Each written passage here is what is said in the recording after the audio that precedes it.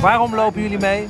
Nou ja, wij zijn familie van Richard. Uh, ik ben de tante en mijn broer de oom.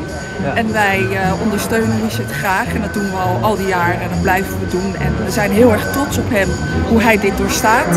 En uh, ja, door mee te lopen zorgen we ook voor een hart onder de riem. Het is zeker heel erg zwaar. Vooral wat mijn zus ook zegt, dat ook zij ze volgens mij, omdat het nog zo lang duurt. Ja. En het blijft maar als een zwaard van Damocles boven je hoofd hangen. Het is eigenlijk onbegrijpelijk dat dit maar door blijft gaan. Dat het iedere keer maar weer, weer die, die, die heksenjacht door blijft gaan. En ja, we hopen ook echt na dit dat het dan ook echt over is. En dat hij echt zich helemaal kan richten op de stad.